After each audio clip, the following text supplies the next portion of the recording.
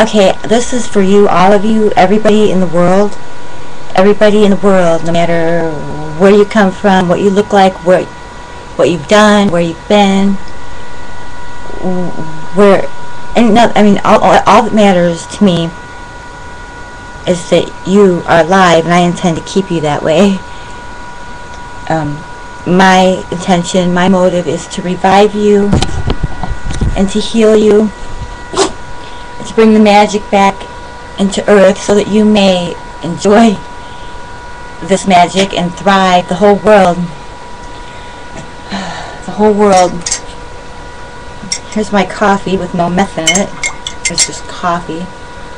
I'm jonesing so bad. Oh my god, you have no idea how bad I just want. I need, and I'm so, the anxiety is like, ugh, I'm going crazy. But, because I'm quitting, I won't be going crazy. um,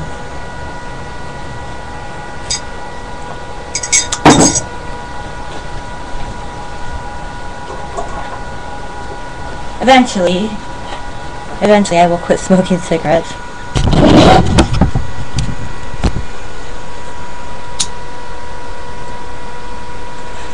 Okay, so I have like oh several thousand letters in my inbox from YouTube that people have written to me, and there's letters in there that I have not read. They're almost they're two years old, a year and a half. I mean, I haven't checked my inbox in months.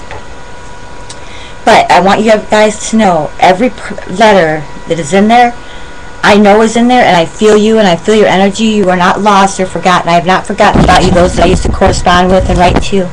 You know, well, I haven't for a long time, but I know you're there. I know the letters are there. So I, mark my words. I promise you, every single one of those letters that have been written to me, I will read. They will be read soon. I can't say when because right now I'm just going, you know, I haven't had the ability to sit down and concentrate and focus on that yet. I need to be a little bit more um, stable, um, harmonic, balanced, a little bit more relaxed. Um, you know, uh, anyhow, I promise you this. If I haven't answered you in your letters, because I mean, I have, well, actually about 4,000 letters or so um, in my inbox.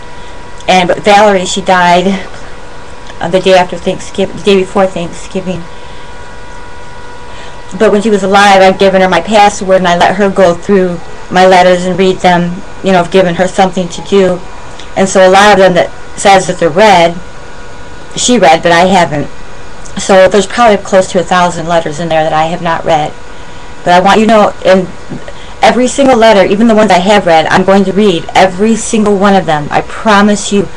Don't think that I've forgotten you or I'm ignoring you or that you're not important or that your letters are... You're my earth family. You're my people. I love you. I never want, would ignore you and disregard you like that and your questions and you know, you're, you're trying to connect with me, and then all of a sudden there's nothing. It seems like it's blank. Like, you know, you reach out to me, and then I don't reach back. But I am reaching back all the time, every moment of my life. But know this, I will, every one of those letters will be read thoroughly and completely with total, my total attention. You know what I'm saying? I won't, won't be sitting there reading it, thinking about other things, trying to do other things, sitting there hitting my, my, my meth pipe while I'm doing, you know, that shit ain't going to happen. I'm going to be able to fully, wholeheartedly read each and every one of them and respond. Even if they're a year, two years old, a week old, whatever. I know that I get a lot of mail and I haven't read them, but, you know, a lot of letters that I've received have been mean, nasty, really mean. but one of the reasons I think that I haven't read so many of them is because I know that there's good ones in there full of love, but I know that there's hate mail in there too. And so by having them there and not reading them all has kept me from having to be subjected and influenced by the hate letters because the ones that are hateful and that are mean to me you have no idea how much it affects me and how much it hurts me. You think it, it act like it don't, but it does. It just it devastates me sometimes to the point of complete depression where I feel like killing myself.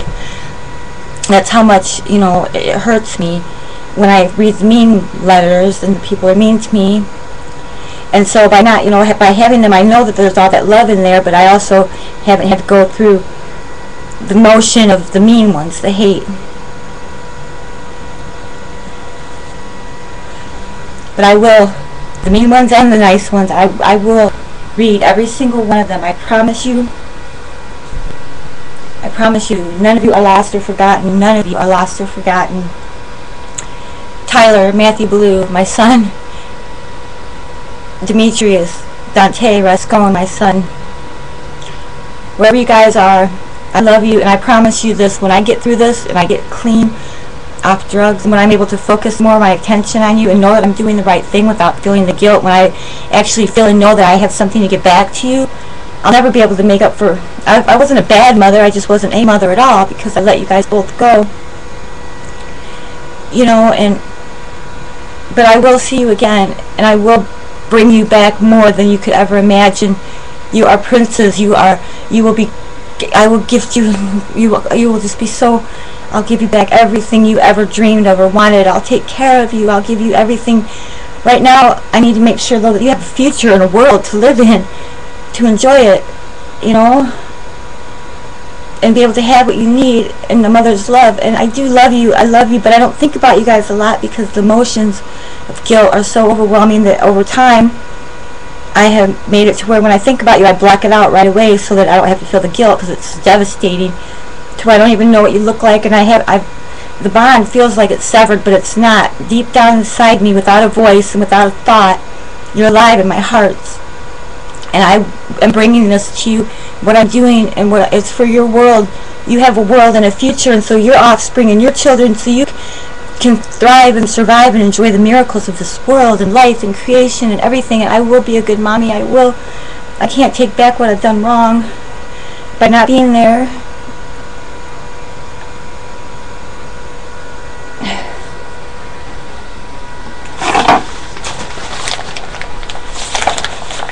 Let red lipstick on. Oh.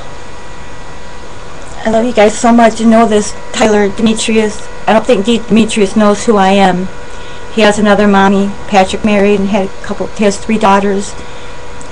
Tyler's sisters, and from what I understand, the woman that he's Patrick is that Patrick Herbe Ranscone lives in Long Beach, California, with Demetrius and his wife and his Demetrius' three sisters and Demetrius, my son, has been a vegetarian. He's been raised a vegetarian.